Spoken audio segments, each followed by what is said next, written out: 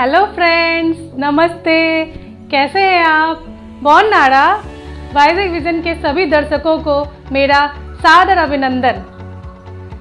मैं रजनी भारती, श्री प्रकाश विद्या निकेतन में लाइब्रेरियन के रूप में कार्यरत हूँ. चलिए, आज हम आपको कुछ किचन टिप्स जो कि रोज़मर्रा की ज़िंदगी में बहुत काम आते हैं, उसको बताने जा रही हूँ. ये तो एक तो हमारा समय तो बचाता ही है साथ में हमारी जो चीज़ें हैं वो और ज़्यादा अच्छी बन के आती हैं और हमारा समय भी कम लगता है और मेहनत भी कम लगती है। तो चलें तो आज की हमारी पहली टिप्स है भिंडी काटना। भिंडी काटते समय अक्सर हमें बहुत सारी परेशानियाँ होती हैं। जैसे कि भिंडी है तो वो बहुत चिपचिपी सी, जैसे मैं हम काट रहे हैं अभी तो वो ऐसे चिपचिपी सी बनती है, ऐसे लस्से छोड़ती है, ऐसे। ये हमारे लिए बहुत मुश्किल हो जाती है ऐसे। इसको काटना। तो इसको हम क्या कर सकते हैं कि भिंडी के एजेस में थोड़ा सा नींबू लेमन इसको रब करेंगे और उसके बाद देखिए, ये बिल्कुल आसानी से कट जाएँगे। और बिना कोई रैसेस छोड़े। तो ये हमें बहुत काम आती है अगर हम इसमें थोड़ा सा नींबू रब करें तो। ये देखिए। और अगर फिर भी ना जाए इससे तो बुनते समय थोड़ा सा हाफ़ टी स्पून नींबू का रस उसमें डाल दीजिए। और ये एकदम आराम से खिले खिले सी बनेंगी। अब यहाँ दूसरा टिप्स है, लहसुन को लेके। कई बार लहसुन छीलते समय हमें बहुत परेशानी उठानी पड़ती हैं। जैसे कि ये लहसुन के छिलके हैं, इसको निकालना बहुत मुश्किल हो जाता है। और जब खास करके हमारे नाखून बड़े ना हो तो और मुश्किल होती है।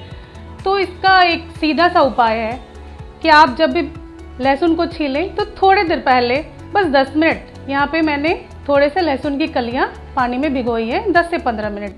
और इसको पानी में भिगो के, यूँ यूँ देखिए, मेरे पास नाखून भी नहीं है साफ़, देखिए, कितनी आसानी से ये पूरा निकल जाएगा, ये देखिए।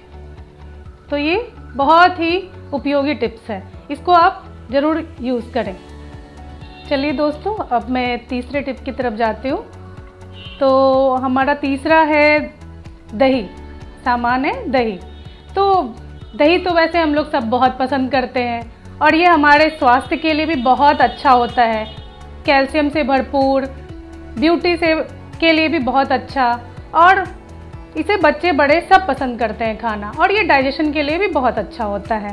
तो दही हम तो वैसे तो हम खाते ही हैं, लेकिन आप अगर नॉर्थ साइड की बात करें तो हमारे उधर एक सब्ज़ी, जैसे कि गट्टे की सब्ज़ी, बहुत प्रसिद्ध है, बहुत फ़ेमस है तो उसमें कर्ड का ही ग्रेवी के लिए हम इस्तेमाल करते हैं। और भी बहुत सारे चीज़ों के लिए यहाँ पे भी इस्तेमाल किया जाता है, जैसे आप बिरयानी में डालते हैं और चीज़ों में डालते हैं। तो कर्ड को अगर आप गट्टे में डालें तो उसमें क्या करें कर्ड कभी भी उसको पूरा ऐसे यूँ फेंट के डालें।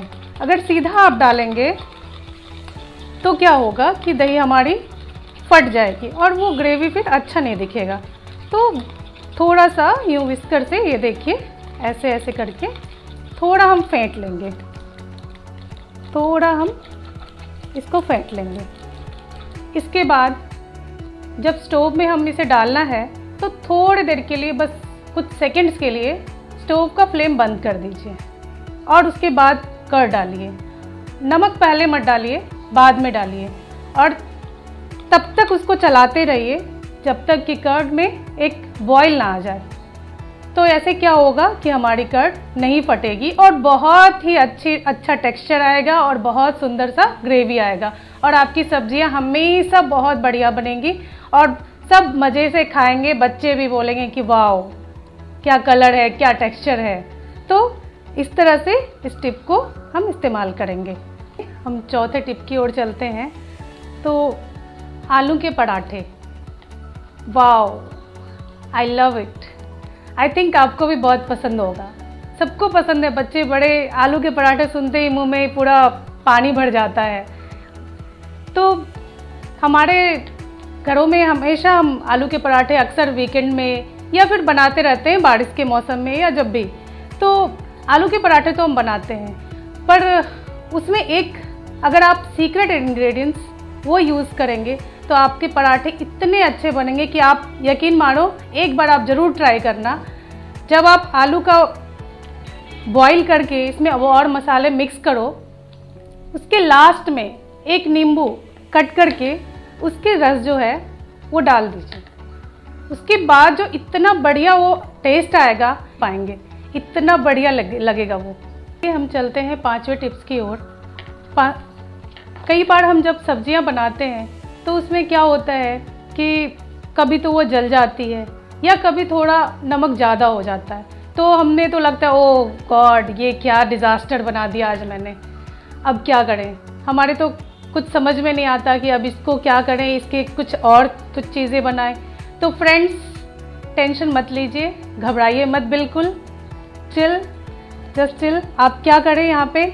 आप सब्जियों में जो बनी हुई ग्रेवी है, उसमें बस ब्रेड के छोटे छोटे टुकड़े जो देखिए, ये ब्रेड है, इसके कुछ टुकड़े लेके हम ग्रेवी में डाल के थोड़े देर तक, कुछ दो चार मिनट तक बॉईल कर लीजिए। उसके बाद ये ब्रेड जो है, क्या करता है कि सारे उसके स्मेल को बर्निंग स्मेल और एक्स्ट्रा सॉल्ट जो होते हैं, उसको अब्जॉर्ब कर लेता है। उसके बाद टुकड़ों को निकाल के साइड कर दें। और अगर आपके पास ब्रेड भी ना हो तो आप ऐसा कर सकते हैं कि आटे आटे तो हम गूँथते हैं तो उसकी कुछ गोलियाँ, ऐसे गोल गोल बनाकर वो भी आप ग्रेवी में डाल सकते हैं और फिर उसको निकाल कर साइड कर दीजिए। दोस्तों, आज मैंने आपको पाँच टिप्स के बारे में बताया। होप यू लाइक डिट आपको बहुत पसंद आया होगा। आपको कृपया आप हम, अपने सुझाव हमें ज़रूर बताएँ। अपने कमेंट्स लाइक शेयर ज़रूर करें। आपको कैसा लगा? और आप इसको अपने लाइफ में रोज़मर्रा की ज़रूरतों में इस्तेमाल भी करके देखें।